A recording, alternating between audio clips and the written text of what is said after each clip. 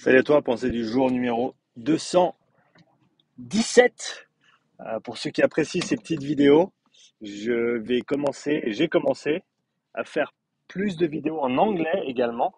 Et euh, il n'y a pas de raison que je doive décider entre le français et l'anglais. Donc je double. Et euh, dans la mesure où j'ai le temps, je vais essayer de faire une en français, une en anglais, chaque jour, en tout cas chaque fois que j'ai une opportunité de, d'enregistrer une vidéo. Et ce ne sera pas nécessairement exactement les mêmes sujets. Donc pour ceux qui parlent anglais, ça vous fait un peu plus de contenu. Pour ceux qui ne le parlent pas encore, allez l'apprendre. Euh, comme ça, quand vous revenez sur la chaîne avec une bonne compréhension de l'anglais, eh ben, vous aurez accès à deux fois plus de vidéos. Euh, sujet d'aujourd'hui euh, autour de la puissance critique et de, de la validité ou de la précision du calcul de puissance critique selon les, profils de différents athlètes. J'ai eu euh, des échanges très intéressants sur Twitter ce week-end avec euh, plein de, protagonistes qui, euh, qui sont très compétents dans leur domaine, notamment dans la, physiologie de l'exercice et sciences du sport. Et ce dont je me suis rendu compte, c'est qu'avec le calcul de puissance critique, avec deux tests, avec le 3 et le 12 minutes notamment, euh, il semblerait que, et ça, ça, je l'ai entendu, ben, Mathieu Lambert d'ailleurs, Mathieu avec qui j'ai sorti un podcast euh, hier, si tu l'as pas écouté, va l'écouter. Et si tu es intéressé par le testing, il vient de sortir une, formation en ligne sur le testing avec le lactate. Donc je te conseille d'aller la voir. Euh, tu la trouveras dans la description du podcast que j'ai fait avec lui. Et donc Mathieu notamment, et d'autres également, m'ont indiqué que euh, il semblerait que pour les personnes qui ont une grande capacité, euh, on va dire, de, production de puissance et de sprint, euh, en tout cas de manière relative par rapport à leur, leur endurance, de manière générale, on va dire, eh ben, il semblerait que pour ces personnes-là, les 3 et 12 minutes tendent à surestimer la puissance critique. D'accord? Donc, par rapport, par rapport à quoi? Si on compare à une autre mesure comme le seuil du lactate 2 ou le MLSS, et euh, eh ben voilà, il semblerait qu'avec ces tests qui sont quand même à tendance assez courte, donc le 3 et le 12 minutes, eh ben, on ait une potentielle euh, surestimation de la puissance critique, ce qui serait mon cas notamment. et je mets ça sur le compte de mon passé, surtout au niveau du travail sur rameur que j'ai effectué. Alors, bah, déjà, j'ai fait, avant tout ça, j'avais fait pas mal de sport co, euh, je courais vite, même très vite, par rapport au niveau où j'évoluais, bien sûr, euh, qui n'était pas, euh, pas un très très haut niveau. Mais je courais déjà vite. J'avais une très bonne capacité d'endurance, cela dit. Mais par la suite, ben, j'ai fait de l'altéro pendant un an et demi, deux ans, avec zéro cardio. Voilà, je suis pas fier, mais voilà, c'était comme ça. et donc, certainement beaucoup développé mes capacités de force et de puissance à ce moment-là. Et ensuite, après ça, j'ai fait euh, du rameur indoor, donc de concept 2, de manière acharnée, 4 à 5 fois par semaine, euh, avec, maintenant que, que j'ai un peu de perspective sur tout ça, euh, j'ai jamais vraiment fait quoi que ce soit en dessous de la zone 3. euh, donc j'avais un manque d'endurance fondamentale qui était assez énorme. Malgré ça, j'ai réussi à faire des bons chronos, donc ça me donne beaucoup de, euh, ça me donne beaucoup d'espoir pour la suite parce que, comme je l'ai déjà dit plusieurs fois, j'ai pas fini euh, mon aventure avec le rameur.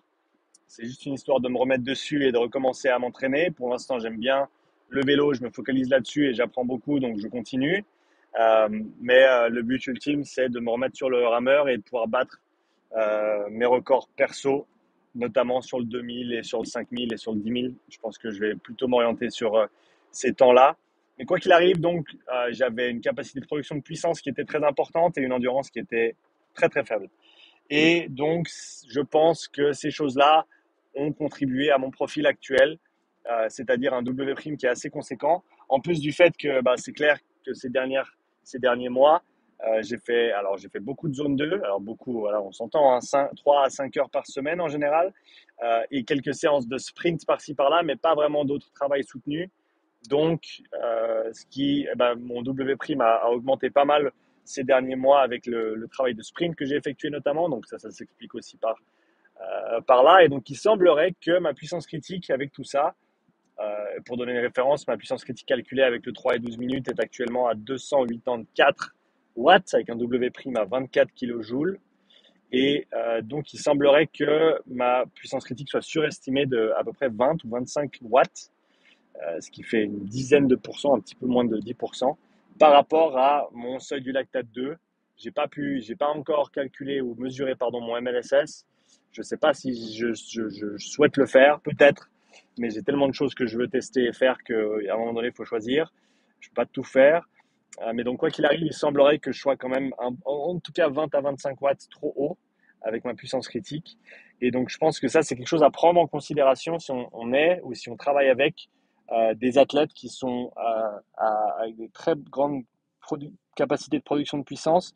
Donc, je pense à des, à des, des W' qui seraient euh, en dessus de 18 ou 20 kilowatts, kilojoules, pardon, pas kilowatts, kilojoules. Je pense qu'à partir de ce moment-là, on peut commencer à se dire, faut peut-être que je, que je nivelle un petit peu vers le bas ma puissance critique quand je commence à planifier mes, mes intensités de travail parce que sinon on va pas nécessairement se retrouver sur les bonnes intensités. Ça, c'est bien sûr si on n'a pas euh, accès à une, mesure de seuil du lactate 2 ou à une mesure de puissance critique avec plus de tests ou avec peut-être un test plus long. Ça, c'est quelque chose que j'ai pas encore fait, euh, que j'avais tenté il y a deux mois et demi en arrière, mais j'avais pas mangé avant, et donc c'était une terrible idée de faire un 20 minutes à fond, euh, mais voilà, sans sucre essentiellement. Donc ça, c'est quelque chose qu'il faut que, que je veux rajouter parce qu'il semblerait que ça peut certainement euh, recalibrer un petit peu mieux ma puissance critique avec cet effort qui est un petit peu plus long. Euh, en plus de ça, c'est un temps d'effort qui, qui, me convient bien, étant donné que voilà, si je, si je me dirige sur des temps d'effort de l'ordre de, de 6 à, à, 20 minutes sur le rameur, eh ben pourquoi pas avoir une bonne, euh, une bonne idée de ce que ça représente sur le vélo aussi. Encore une fois, je me réjouis de pouvoir m'entraîner sur le rameur et, et, et, continuer à faire toutes ces, ces petits tests sur moi-même euh, et voir comment les choses progressent au, fil du temps. Mais quoi qu'il en soit, euh, voilà, je pense que bah, comme tout modèle, hein, comme tout modèle, la puissance critique a ses limites. Et si on se contente de faire deux, euh, deux efforts sur des temps en plus de ça assez courts, 3 et 12 minutes, ça peut avoir tendance à surestimer un petit peu cette valeur de puissance critique pour les athlètes qui ont une grosse capacité de génération de puissance. Euh, donc, je pense que c'est quelque chose à prendre en considération quand on, fait, euh, quand on, va utiliser ce, type d'approche. Je pense que ça reste une approche qui est extrêmement intéressante, euh, cette approche de la puissance critique qui est extrêmement accessible, hein, accessible à tous vraiment. Et avec un tout petit peu de calcul, ben, ça nous permet d'avoir des valeurs d'entraînement qui sont quand même assez cohérentes. et donc à ce, à ce propos, j'ai fait, comme je l'ai mentionné la semaine dernière, une fiche de calcul qui sera avant tout disponible pour les participants du séminaire que je fais euh, à la fin du mois de mai. Euh, le mai, euh, mois de mai qui sera bien occupé avec un séminaire à Genève, une, une, table ronde à Genève.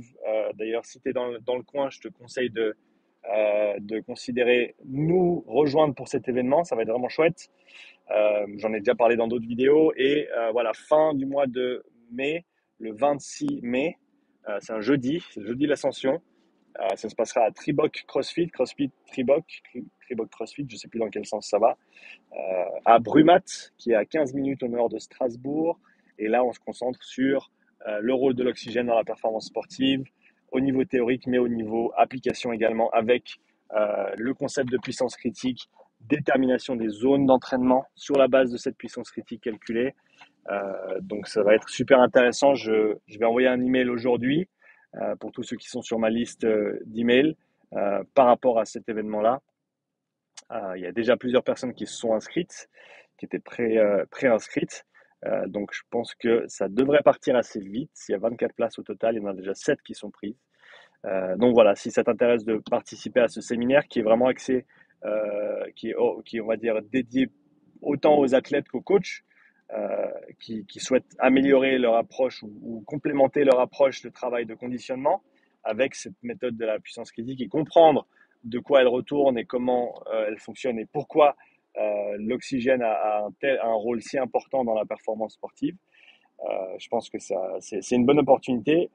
je mettrai bien sûr le lien d'inscription sous la vidéo pour que tu puisses, pour que tu puisses aller t'inscrire directement sur la page Si tu as des questions, comme d'habitude, laisse-moi un commentaire. Si tu as des suggestions de sujets pour des futures pensées du jour, laisse-moi également un commentaire. Euh, sinon, contente-toi de me laisser un petit like et bien sûr de t'abonner si ce n'est pas déjà fait parce que c'est gratuit et tu peux toujours changer d'avis. Sur ce, je te souhaite un beau mardi et je te dis à euh, demain très certainement pour la nouvelle pensée du jour.